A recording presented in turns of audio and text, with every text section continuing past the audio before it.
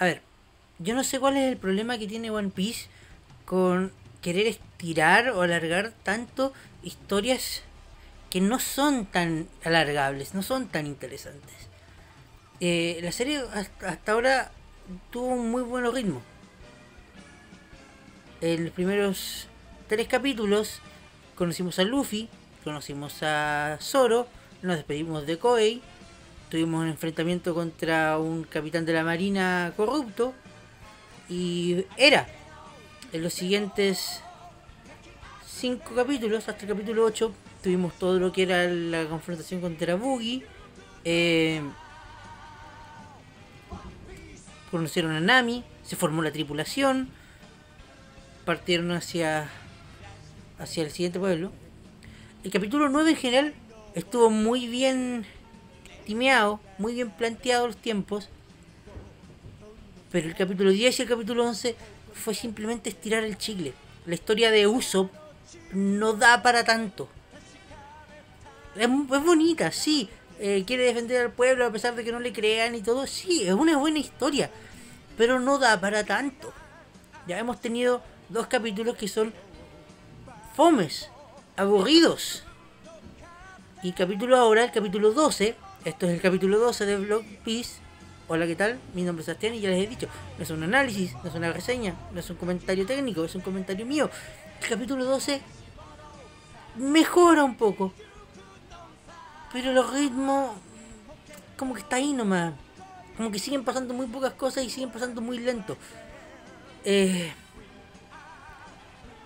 el plan de uso básicamente falla porque, bueno, eh, era la colina equivocada. Pensaba que pensaba, pensaban que los piratas iban a llegar por la colina del sur porque ahí es donde se reunió eh, se reunieron los dos piratas malos y en realidad venían por la colina del norte, lo que provocó que el equipo se separara porque Usopp se fue corriendo hacia la colina del norte, Luffy se fue corriendo hacia la colina del norte, pero Luffy como es Luffy no sabe para dónde está el norte y se perdió y llegó tarde. Nami tuvo un problema con el plan de hacer la colina resbaladiza, solo lo ayudó, pero solo se quedó atrapado ahí.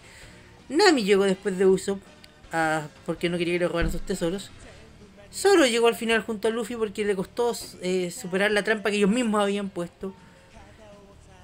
Y básicamente eh, todo el capítulo es una pequeña, muy pequeña confrontación entre los piratas de del mayordomo que se me acaba de olvidar el nombre y el equipo de Luffy junto a Usopp.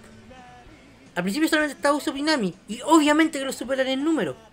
Al final del capítulo llega solo con Luffy y la situación mejora porque, bueno, ahora el equipo está completo y, bueno, sorry Luffy, ambos dos son terrible overpowered.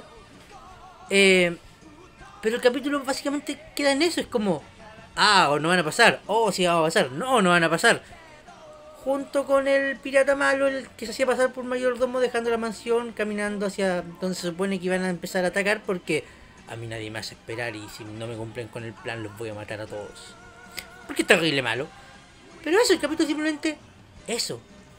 Están avanzando muy lento con una historia que no da para tanto. Soy el Seba, esto fue el capítulo 12 de Block. Nos vemos mañana y siguen faltando más de 800. Adiós.